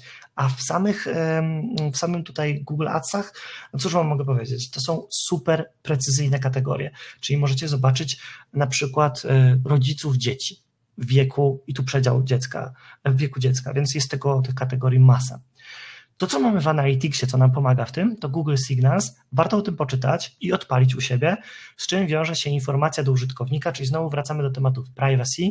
E, tematy privacy mm, nie mam pod, ręki, pod ręką książki, ale polecam Wam wpisać w Google e, Piotr Kantorowski. Świetna książka poradnik dla takich osób, które jak ja nie chcą za dużo wiedzieć tego prawa, bym poszedł na studia, jakbym chciał wiedzieć więcej, ale właśnie jest to napisane pod kątem właściciela biznesu, influencera, osoby współpracującej z influencerami, czyli po prostu jak mamy Google Adsy, to co tam może prawnie pójść nie tak? I w tej książce to jest opisane. Więc bardzo Wam polecam. Piotr Kantorowski jest jednym z autorów i tam na przykład się dowiecie, że jak robimy takie coś jak tutaj, wdrażamy jakąś dodatkową usługę, to musimy o tym powiedzieć użytkownikom w polityce prywatności. Mówimy, tak, chcemy te ciastka twoje, oczywiście jak się zgodzisz i my będziemy tam analizować ciebie, po co? No to żeby była lepsza strona i użyjemy czegoś takiego jak Google Signals, co to jest? No łapiemy cię z różnych y, tutaj źródeł dodatkowych Google'a, i dowiemy się o tobie czegoś więcej. Czego? Na przykład tego. Zobaczcie, raport to jest zainteresowania i możecie sobie stworzyć raport, który pokazuje, jaki macie współczynnik zaangażowania albo na przykład konwersję. I ja tutaj widzę, że w tym sklepie najlepiej kupują osoby, które są entuzjastami tak zwanego green living, czyli trafiają do nich fajnie e, komunikaty, że te gadżety u Google są załóżmy ekologiczne. Możecie znaleźć już u siebie takie informacje i nie błądzić, szukać persony, bo wam się wydaje, że taka zadziała, tylko macie konkretne dane u siebie. To jest świetne do rozbudowywania tych kampanii. Bardzo, bardzo polecam ten raport. I oczywiście ja jestem średnim dzieckiem i bardzo wam polecam, żeby stosować te kampanie e, właśnie w ten sposób, żeby eliminować target. Tak? Ja sobie musiałem tak samo radzić, jak tutaj ta dziewczynka, o atencję i wy tak samo powinniście wydawać pieniądze w tym kierunku, gdzie macie lepszy współczynnik konwersji. Czyli jeżeli w waszym sklepie z butami nagle okazuje się w tych raportach, w tych zainteresowaniach, że dziewczyny w wieku takim a takim dokonują zakupów trzy razy częściej, to po co wydawać pieniądze na cały target, czyli odbiorcę, jak możemy wydawać ten sam budżet precyzyjnie na te osoby, które częściej kupują, częściej zamawiają, większy koszyk i tak dalej. No i na koniec sprytny remarketing. Nie wszyscy wiedzą, ale Google Analytics pozwala remarketingowi wyjść na znacznie wyższy poziom niż reklamy, która jest, no kojarzy nam się z taką głupią reklamą, typu Boże, chcę kupić buty, wszedłem na buty i teraz będę przez kolejne dwa tygodnie widział wszędzie te buty. Szczególnie jak je kupię i zapłacę za nie 200 zł czy 300, załóżmy, E, a reklama będzie mówiła, że teraz jest promocja i są 10% taniej. Ja już się nauczyłem, że niektóre rzeczy to w ogóle wchodzę do sklepu, dodaję do koszyka, porzucam i czekam na tego maila, który mówi: Oj, porzuciłeś tydzień temu, masz tu zniżkę. No, jestem z Krakowa i muszę sobie radzić. Ale remarketing można zrobić znacznie, znacznie lepiej. Właśnie w oparciu o GA4. Macie różne rzeczy, które możecie robić. Pokazać inny produkt, zrobić upsell, cross-sell, promocje, nowości, ale za każdym razem nadal wpychacie często swoją reklamę tego użytkownikowi, który tego nie chce. Możecie wykorzystać inne platformy i bardzo tu polecam crossowanie tego, czyli robicie remarketing zarówno w Google Adsach i Facebooku, ale zobaczcie, możecie eliminować przypadkowych użytkowników za pomocą GA4. Jak się to robi? Jak tworzycie grupy odbiorców, to zobaczcie, że możecie kierować remarketing do osób, które były w waszym, e, na waszej stronie, kupiły coś już, dodały do koszyka, nie kupiły, jest tego mnóstwo. A jednym z takich prostych haków jest też to, że dajecie do osób, które mają sesję z zaangażowaniem, czyli były na waszej stronie dłużej niż 10 sekund. No bo załóżmy, mam ograniczony budżet, wydaję na remarketing, to po co będę wyświetlał się osobom, które na moją stronę z jakiegoś powodu weszły i wyszły, zanim minęło 10 sekund? To był najprawdopodobniej przypadek. Więc z ograniczonym budżetem te osoby jako pierwsze wycinam. Jest tu naprawdę dużo możliwości i zobaczcie, że te grupy odbiorców, które tu tworzymy w Analyticsie, stanowią naprawdę dobre rozwinięcie działań e, w Google Adsach. Możecie też analizować powroty. To akurat raport z Universala. Spokojnie go można stworzyć też w Google Analytics 4. Akurat tutaj nie mogłem pochwalić się nowymi danymi u klienta zmigrowanego przez nas do GA4, więc wykorzystuję ten raport. Pokazuje, jak można sobie tutaj popatrzeć na to, że mamy użytkownika, który jest nowym, powracającym i ktoś mówi, tak, bo im więcej razy do nas trafi, e, tym e, większa szansa na zakupy. Ok, no to stworzę segment, byli co najmniej trzy razy i sprawdzę, czy to jest prawda. Jak dużo osób kupiło, tylko było dwa razy, czy było raz u mnie. Mogę robić taką segmentację i wtedy przemyśleć, jak ważne jest dla mnie inwestowanie w pomysłowość i kreatywność remarketingu. No i na koniec smutne wiadomości. Analiza wymaga czasu. Jak gdyby nie spodziewajcie się, że w 5 minut wyciągniecie wiedzę z Analyticsa. Szczególnie na początku, jak go poznajecie, e, trzeba poświęcić sporo, sporo czasu na poznanie narzędzia, wywnioskowanie. E, nawet polecałbym, że po prostu dobrze jest tam siedzieć, przeklikiwać, patrzeć na dane, za drugim, trzecim razem nagle powiedział, o, widzę korelację, coś się tutaj dzieje. Warto czytać, jest dużo informacji na ten temat, ale warto też myśleć odwrotnie niż wszyscy. Powiem Wam o takim super oklepanej rzeczy, która jest na konferencjach i w memach wszędzie i wiele mówi o naszym społeczeństwie. Był taki typ, nazywał się Abraham Wald i jak analizowali w trakcie II wojny światowej statystycy e, samoloty, które wracały z frontu, e, no to oni patrzyli, gdzie te samoloty obrywały i te miejsca statystycznie były bardzo narażone, no to wzmacniali je. A on im powiedział, a jesteście głupi, dobra, nie powiedział im tak, ale tak powiedział, przenośli, powiedział, czy wy w ogóle myślicie o tych samolotach, które nie wróciły? Gdzie one oberwały? I się zastanówcie nad tym. Czyli my musimy zadać sobie zupełnie inne pytania. Nie, o, to mi lepiej sprzedaje, to w to inwestuję, tylko zadaję pytanie, a dlaczego ta kampania, na którą siedziałem dwa tygodnie, nie sprzedaje? Dlaczego ten newsletter sprzedawał, a ten nie sprzedawał? Czyli szukamy rzeczy, które są nieoczywiste. I niektórych rzeczy nie znajdziecie w GA. Na przykład e, UX-owe sprawy. E, mam formularz, którego nie mogę wypełnić jednym kliknięciem, autouzupełnianiem w Chrome, bo ktoś sobie go wymyślił po swojemu. Jeżeli wszyscy korzystamy z Chroma, ogromna większość użytkowników, czy z Firefoxa, trzeba przetestować, czy nasze formularze korzystają z automatycznych funkcji. Bo jeżeli ja mam trudność z założeniem konta w sklepie, pierwsze co ja robię, to idę na Allegro i kupuję tą rzecz w tym samym sklepie jak najtaniej, ale ktoś musi za to zapłacić dodatkową prowizję. Więc idę po najniższej linii oporu jako użytkownik. Więc musimy też ułatwiać tym użytkownikom. Na przykład karta kredytowa niezapisana. Ja kart kredytowych nie trzymam w biurku i jeżeli ktoś mi nie pozwoli wypełnić tego i podać tylko kodu, to prawdopodobnie zrezygnuję z zakupu albo zostawię go na później, a wracając później, to może już nie będzie najlepsza oferta. Zresztą przeklikałem się przez reklamę albo może nawet cenę, straci ktoś tego użytkownika. Brak zakupów jako gość. Tego nie sprawdzimy. Bardzo dużo osób będzie wchodziło na stronę i irytowało się, że chcemy od nich adres, jak oni przychodzą i odbierają osobiście. Po co, po co nam podawać komuś adres? E, fajnie to robią sklepy, które podają tylko podaj nam numer telefonu, tylko po to, żebyśmy ci dali e, ID tego zamówienia i że jest gotowe do odbioru. Rewelacja. Imię i nazwisko czasem tyle.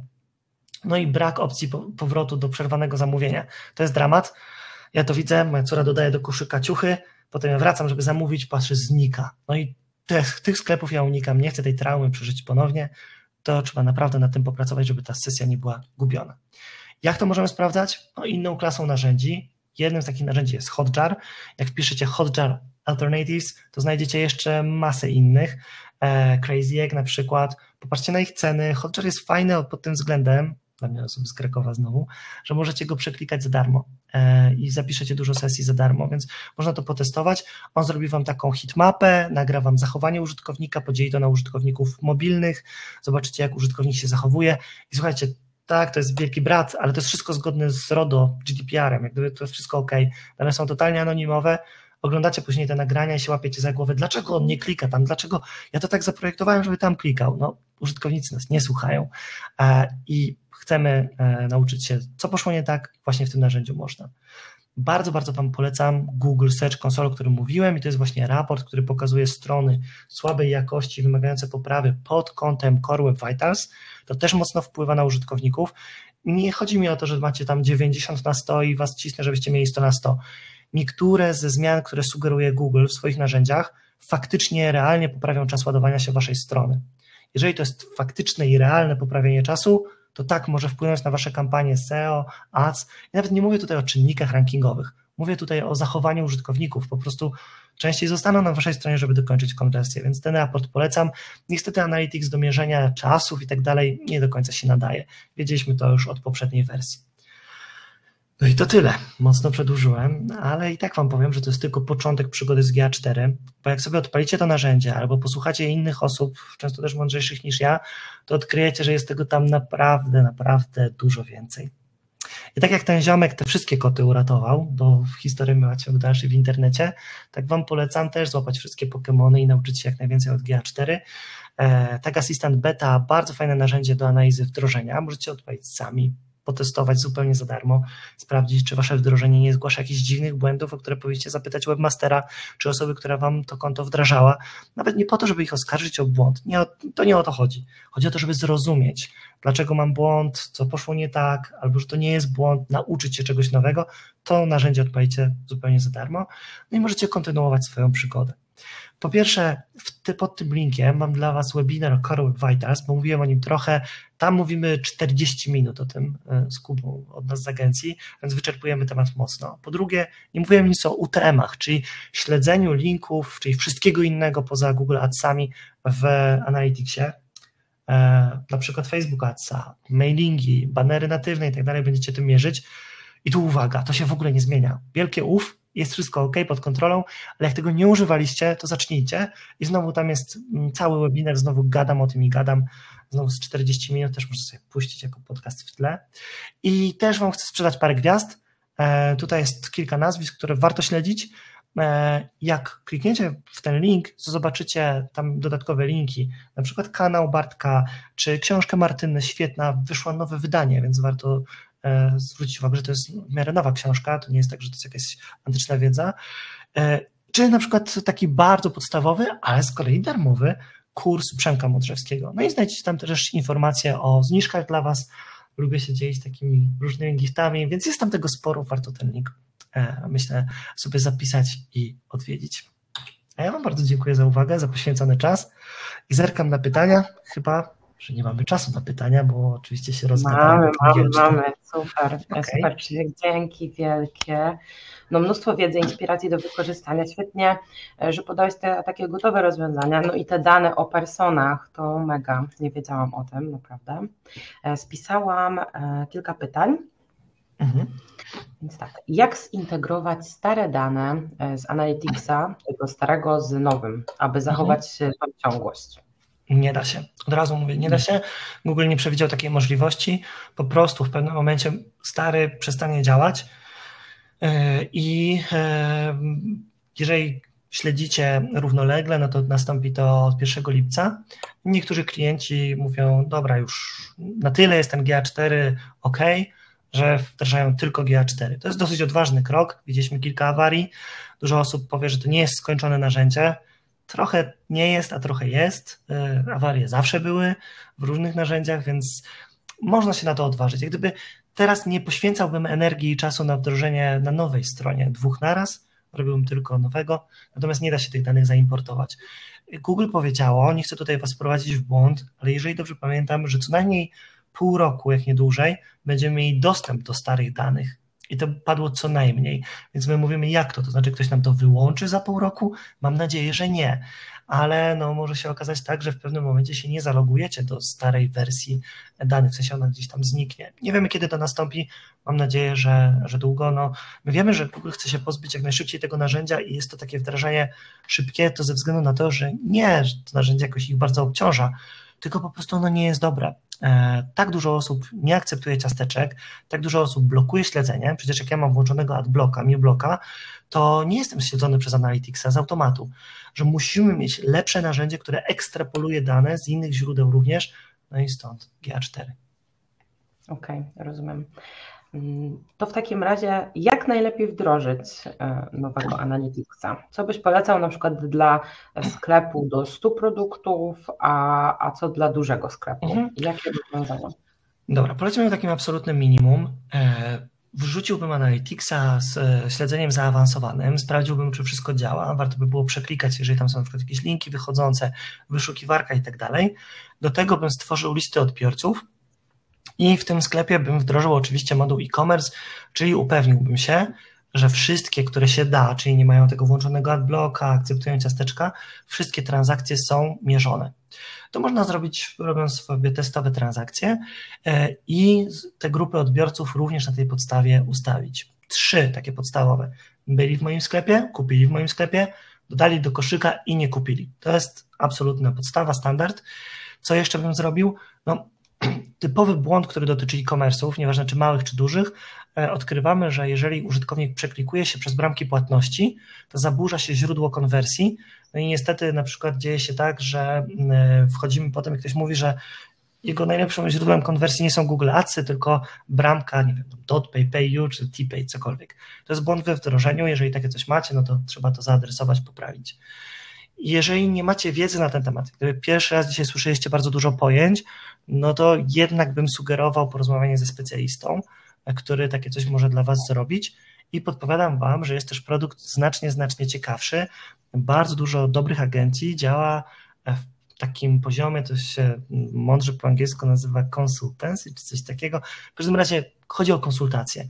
Ktoś bierze Waszego Analyticsa, sprawdza, czy wszystko jest ok i odpowiada na Wasze konkretne pytania. Nie musicie iść na szkolenie, które trwa 8 godzin, bo Wy na przykład nie potrzebujecie tych informacji, albo lepiej, macie te informacje, tylko umawiacie się na konsultację i wtedy ktoś przychodzi i mówi specjalista, tak, tu macie błąd, poprawimy go. Y, wy pytacie, jak ten raport działa? On mówi, tak, sprawdziłem, tak, a tak działa. To jest idealne. Na przykład to jest super rzecz. I dlaczego o tym mówię? No bo klienci wystawiają nam potem rewelacyjne laurki. Jak gdyby mówili, że oszczędzili kasę, oszczędzili czas na szkolenie, bo chodzili na szkolenia czy na konferencje, żeby się dowiedzieć czegoś nowego i frustrowali się, że bardzo dużo czasu poświęcali na rzeczy, które nie są dla nich nowe. No i to jest rozwiązanie dla osób, E, które chcą mieć coś na żywym organizmie swoim. Są też szkolenia dla większych grup na żywych organizmach, to też polecam. Duży sklep, no to to jest temat rzeka. Co tam można wdrażać i mierzyć, to trzeba by zobaczyć ten sklep, co on ma. Wiele sklepów idzie głębiej, na przykład patrzy na interakcje między produktami, stara się szukać kluczy i dawać takie sygnały do Google'a e, o konwersjach, które są bardzo nietypowe. Podam Wam jeden super zaawansowany przykład, który był omawiany między innymi na e, samicie dla najlepszych agencji z regionu CEE, byliśmy tam w Atenach.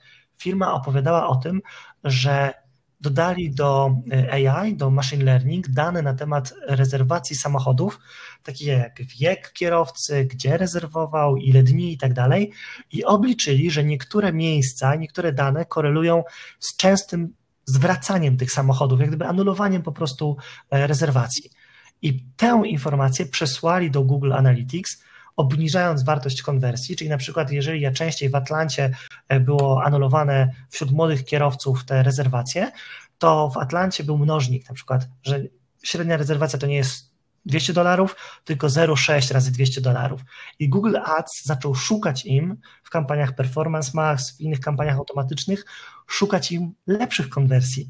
Wśród osób innych przedziałach wiekowych, nie z tych miejscowości, podnieśli całkiem nieźle wyniki kampanii. To jest taki przykład już bardzo zaawansowany, ale sklepy internetowe to często robią. Uczą się, co na przykład pokazać użytkownikowi w koszyku i do tych rzeczy wykorzystują specjalne systemy.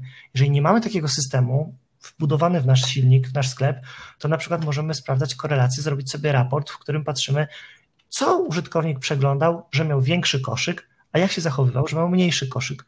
Możecie na przykład wyznaczyć słowa kluczowe, które częściej powodują to, albo wręcz przesłać wartość e, adsom i celować w większe koszyki, chcecie więcej zarabiać. A jak robić większe koszyki? No jak ktoś kupuje laptopa, to mu wyświetlić na końcu torbę, myszkę i tak dalej. Możecie podpatrywać to w dużych sklepach. Google Analytics Wam wstępne takie dane pokaże, a co dalej, no to już systemy automatyzacji tych raportów pewnie wbudowane w Wasze silniki sklepów, czy jako wtyczki do Waszych silników sklepów tych zaawansowanych. Okej, okay, jasne, rozumiem. E, a co w ogóle uważasz o tej zmianie? Czy to jest kontrowersyjna zmiana? Jest, ona jest na lepsze, na gorsze? Jak, mhm. jak myślisz? Oj, to, to jest takie bardzo zabawne dla mnie, bo my jesteśmy narodem, który uwielbia narzekać. Znaczy nie tylko my, to jak się poznaje więcej narodów, to się okazuje, że jesteśmy ludźmi, czyli lubimy narzekać.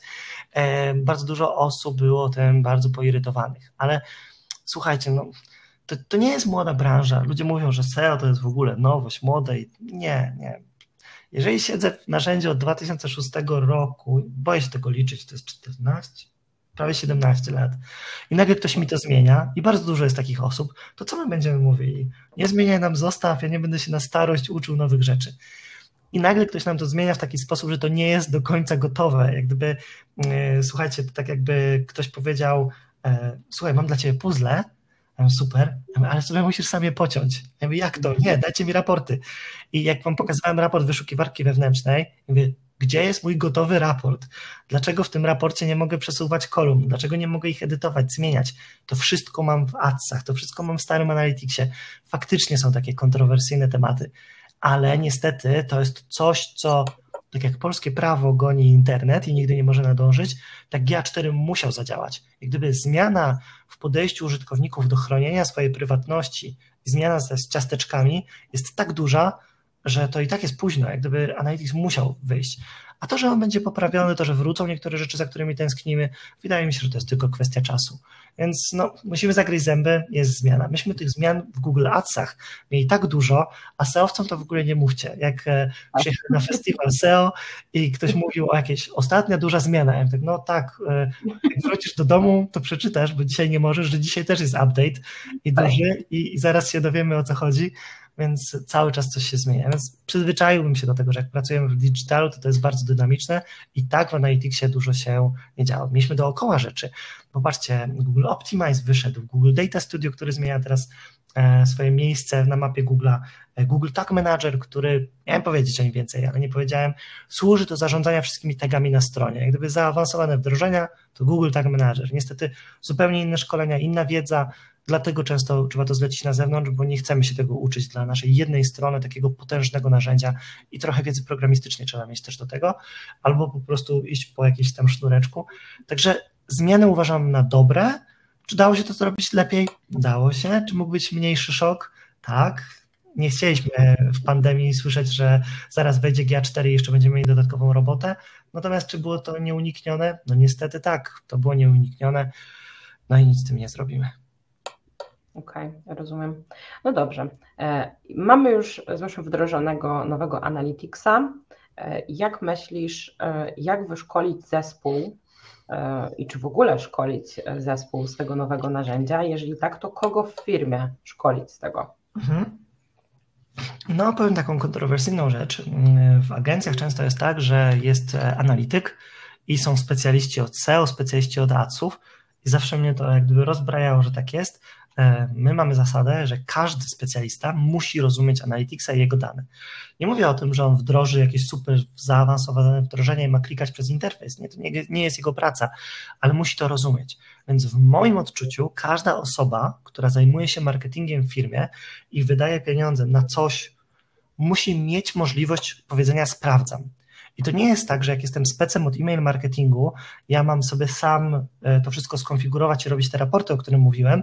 Ja jestem w dużej organizacji, mam od tego inną osobę, tylko pytanie, czy mam tą osobę. Jeżeli ktoś jest w firmie mniejszej i odpowiada za marketing, czyli byłem w tym miejscu, musi drukować ulotki, odpowiada za billboardy, Google Ads, e-mail marketing i wszystko, jeszcze czasami prezes zadzwoni, bo mu nie działa myszka, no to niestety musi się nauczyć tego Analyticsa, bo jest człowiekiem kombajnem. Jeżeli ktoś ma team, to w tym teamie powinny być osoby odpowiedzialne za no, większy poziom wiedzy, a reszta osób powinna mieć gotowe raporty. One nie muszą być w Analyticsie, można zrobić dashboardy w Data Studio, to jest świetny sposób i to jest sposób też na HIPO, czyli na naszych prezesów, osoby, które nie powinny dostawać za dużo danych. O czym ja mówię? Bardzo kontrowersyjnej rzeczy, ale taka jest prawda. HIPO to Highest Paid Person in Organization i z takimi osobami nie rozmawiamy na zasadzie, nie sobie pan prezes sprawdzi w Analyticsie, tylko dajemy im konkrety i mówimy, wydajemy 1000 zł na kampanię Google Ads, uważamy, że jest dobra, bo wypada lepiej niż tam w, no, w zeszłym roku. Decyzja A, rozwijamy ją na 2000 albo 10 tysięcy, decyzja B, no ustawiamy ją na tym samym poziomie, dajemy konkretny raport. Takie osoby się tego spodziewają, podejmują decyzję nie odeślą nam maila i spytają, co to jest współczynnik odrzuceń, proszę o szkolenie i tak dalej. To jest bez sensu. Te osoby powinny decydować o innych rzeczach, poświęcać czas na inne rzeczy. E, I jeżeli jesteśmy taką osobą, właścicielem biznesu i mamy osoby pod sobą, na przykład mamy agencję, to powinniśmy od nich wymagać konkretnych raportów. Już dawno, dawno odeszły te czasy, gdzie raport od agencji to była faktura VAT. Nie dajcie się na to nabrać. Raport od agencji to powinien być dashboard dla Was, robicie SEO, no to agencja pewnie robi linki, to powinna wypisać wam te wszystkie linki. Pamiętam jak lata temu pokazywaliśmy te linki klientom, mówi, dlaczego wy to wam pokazujecie? Przecież to jest tajne, to jest wasze know-how. Mówię, nie, wy za to płacicie, dlatego to pokazujemy. Lista rzeczy, która się zmieniła i właśnie taki raport, który pokazuje, jakie są efekty, typu że ja zapytam, no dobra, ile zarabiam na tym SEO? Ktoś mówi, no wydajesz miesięcznie tam 2000, a obroty z twojego Google Organic wynoszą 200 tysięcy, więc tu możesz policzyć, jaką masz marżę. Uznajemy, że brand to jest tyle a tyle na podstawie jakiejś estymacji z GSC. Musicie mieć takiego partnera, taką osobę, która to wyjaśnia. Y, często firmy wysyłają cały skład marketingu na szkolenia, i to też jest ok, bo potem na przykład te osoby mają lepszą, wiedzą o co pytać, mają większą wiedzę, ale widzimy, że zazwyczaj są takie dwójka, trójka liderów, którzy mówią, ja i tak wiem, że ja to muszę potem przeklikiwać i to na mnie spadnie i te osoby korzystają z tych szkoleń najwięcej.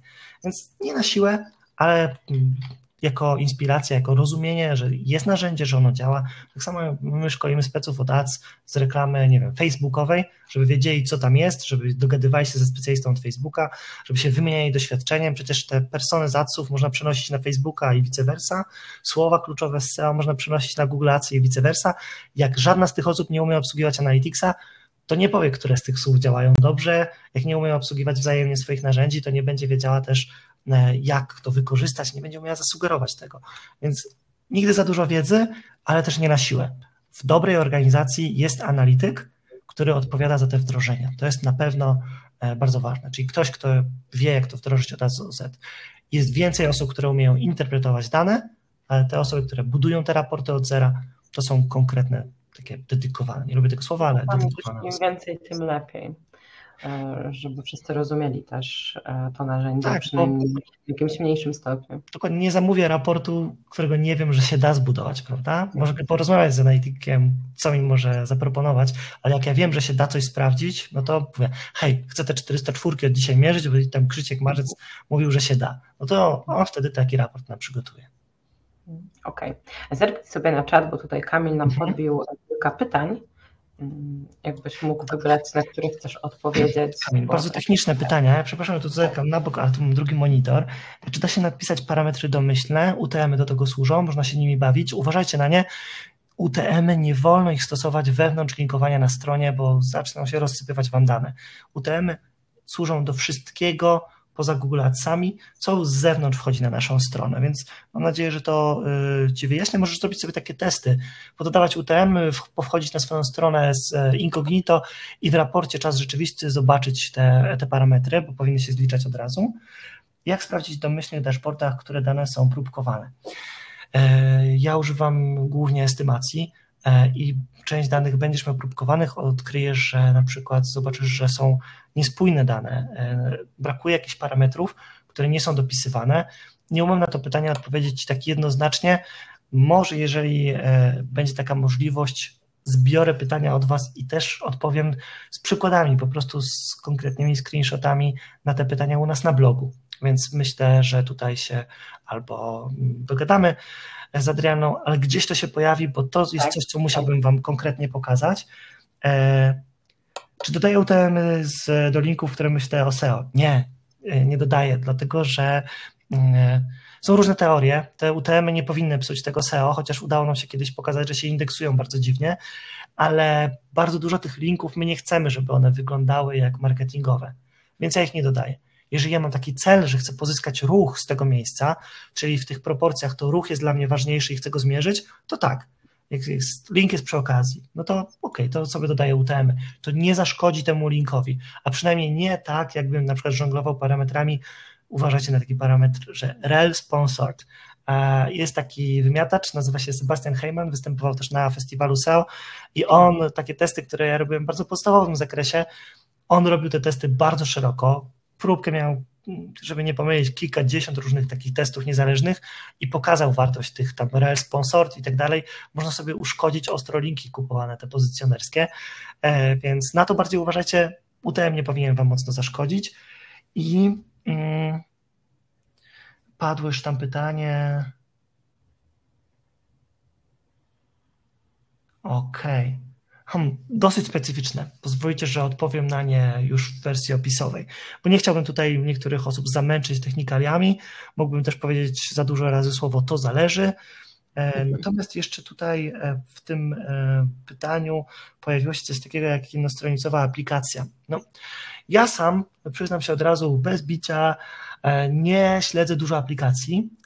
Mam dostęp do takich danych i też bardzo, bardzo mi pomogło to, że w GA4 aplikacja Floodit, taka gierka od Google, jest tam podpięta. Możecie sobie zobaczyć. I mi to otworzyło oczy, i dopiero później czułem się trochę pewniej, żeby włazić do tych aplikacji klientów i analizować, co tam się dzieje. trochę inaczej tam to działa, bo tam patrzymy nie na podstrony, tylko na ekrany, ale też bardzo dużo można wyciągnąć wniosków. E, wewnętrzna monetyzacja, interakcja z treścią, naprawdę sporo tam rzeczy można analizować. Więc polecam Google Analytics 4 służy do łączenia również baz użytkowników, czyli mogę dać strumień danych ze strony, strumień danych z aplikacji i analizować tych użytkowników wspólnie. Więc to też taka myśl dla Was. Będę o tym starał się więcej powiedzieć na Mobile Trends w przyszłym tygodniu. Jak ktoś ma świrę na punkcie mobile, 25-26 października w Warszawie jest tak. duże wydarzenie, takie cykliczne, polecam.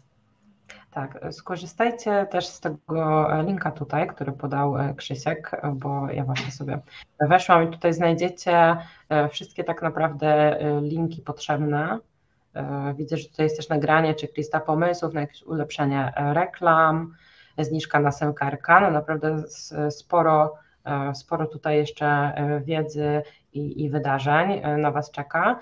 Ja też wkleiłam Wam link do profilu mojego na LinkedInie oraz Krzyśka i, i nasze strony internetowe, więc jeżeli będziecie mieli jeszcze jakieś dodatkowe pytania, bo no, niestety czas webinaru już się kończy, no to przybijcie nam wirtualną piątkę, spytajcie o co chcecie. E, ja zaraz e, kończę to wydarzenie i na koniec e, będzie tam czekało na Was okienko z oceną na, dla nas, dla Krzyśka, dla mnie i chciałabym, żebyście w tym okienku napisali też o czym byście chcieli usłyszeć w następnych webinarach, bo chętnie dowiemy się po prostu o Waszych potrzebach. Więc bardzo Ci dziękuję, Krzysztof, że przyjąłeś nasze zaproszenie, że znalazłeś czas, tak, to Ty tutaj. Super. Bardzo Wam dziękuję za, za poświęcony czas. Dzięki Wam, cześć. Dzięki wielkie, cześć.